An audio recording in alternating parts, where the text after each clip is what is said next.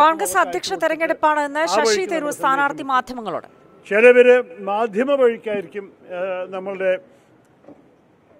ഈ പ്രകടന പത്രിക പത്രമൊക്കെ കാണാൻ സാധിച്ചിട്ടുണ്ടാവുക.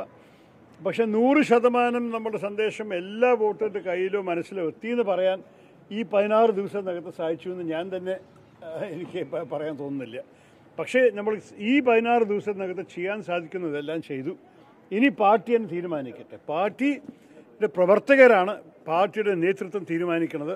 അത് കോൺഗ്രസ് പാർട്ടിക്ക് വലിയ ഗുണകരമരുചി ഒരു ഒരു കാര്യമാണ്. ഡേ ഐറ്റം ആം, പത്തനംതിട്ട മുൻ ഡി സി പ്രസിഡന്റ് മോഹൻരാജ് മാത്രമാണ് ഇങ്ങോട്ട് ഇങ്ങോട്ടേക്ക് വന്നത്. മറ്റുള്ള കോൺഗ്രസിന്റെ നേതാക്കന്മാർ ആരും ഇങ്ങോട്ട് വന്നതുമില്ല. ആരെങ്കിലും ഫോണിൽ വിളിച്ചത് ഫോണിൽ പലരും വിളിക്കുന്നുണ്ട്. ഇന്നലെ രാത്രി വൈകിട്ടും ഇന്ന് രാവിലെയും. അത് മാത്രമല്ല നമ്മളുടെ അവിടെ വന്ന് സ്നേഹം കാണിക്കുന്നവർ ഞാൻ നല്ലപോലെ നന്ദി പറയുന്നു. പക്ഷേ ഇവിടെ ഇല്ലാത്തവരും പലവരും നമ്മൾക്ക് വേണ്ടിയിട്ട് ആത്മാർത്ഥയോടെ ഇറങ്ങിയിട്ടുണ്ട്. കേരളത്തിലും മറ്റ് എല്ലാ സംസ്ഥാനങ്ങളിലും. അപ്പോൾ ഇന്ന് ശരിക്ക് കോൺഗ്രസ് പ്രവർത്തകരുടെ ഒരു ദിനമായിട്ടാണ് ഞാൻ കാണുന്നത്. അവരുടെ ആത്മാർത്ഥതയുടെ തെളിവാണ്. എനിക്ക് എന്ത് എണ്ണം കിട്ടിയാലും നമ്മൾ എല്ലാവരും കലക്റ്റീവായിട്ട് ഒരുമിച്ച് ഇറങ്ങി ചെയ്തൊരു കാര്യമാണ്. അതിന്റെ ഫലമാണ് നമ്മൾക്ക് മറ്റന്നാൾ കാണാൻ നോക്കൂ ഇരുപത്തിരണ്ട് വർഷമായ ഒരു തെരഞ്ഞെടുപ്പ് നടന്നിട്ട് ആൾക്കാർക്ക് പാർട്ടിയിലകത്തുള്ള തെരഞ്ഞെടുപ്പിന്റെ ഒരു തീരെ ഒരു പഴക്കമില്ല നമ്മുടെ ഭാരതത്തിൽ.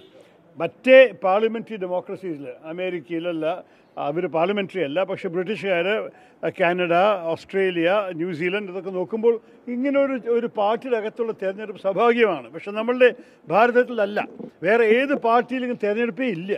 നമ്മളുടെ പാർട്ടിയിൽ ആദ്യത്തെ തവണ തിരഞ്ഞെടുപ്പ് വരുമ്പോൾ ചിലവർക്കൊരു ഭയമുണ്ടാവണതോ അല്ലെങ്കിൽ അവർ സ്റ്റാൻഡ് എടുത്താൽ അതിനെക്കുറിച്ചൊരു തെറ്റിദ്ധാരണ ഉണ്ടാവുമെന്ന് വിചാരിക്കുന്നവർ ഉണ്ടാവും. ഞാൻ ആരെയും അതിനു വേണ്ടി കുറ്റം പറയുന്നില്ല. എല്ലാവരും അവർ രീതിയിൽ അവർ പിന്തുണ തരാനുള്ളവർ തന്നിട്ടുണ്ട് തന്നുകൊണ്ടിരിക്കുകയും ചെയ്യും. ഇന്ന് വന്ന് വോട്ട് ചെയ്യുമെന്നാണ് എന്റെ വിശ്വാസം. അവർ എത്ര എണ്ണമാണെന്ന് നമ്മൾ മറ്റന്നാളെ അറിയുള്ളൂ.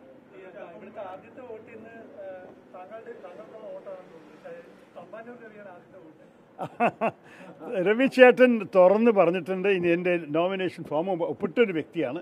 അപ്പോൾ അദ്ദേഹത്തിന്റെ ഈ എന്റെ മൂന്ന് തെരഞ്ഞെ ലോക്സഭാ തെരഞ്ഞെടുപ്പിലും എന്റെ ഇലക്ഷൻ മാനേജറായിരുന്ന ആൾ എന്നെ ഒരു രാഷ്ട്രീയ വഴിയിൽ അറിയുന്ന അതിനേക്കാൾ കൂടുതലൊരു നേതാവില്ല. ഇത്രത്തോളം അടുത്ത് എന്റെ ഒപ്പം പ്രവർത്തിച്ച ശേഷം അദ്ദേഹത്തിന് എന്നെ ഒരു നോമിനേഷൻ തരാനും എനിക്ക് വേണ്ടി പ്രചരണം ചെയ്യാനും വോട്ട് ചെയ്യാനും തോന്നിയതിന് എനിക്ക് വലിയൊരു നന്ദിയുണ്ട്. നല്ല തുടക്കം നല്ലൊരു തുടക്കം തന്നെയാണ്.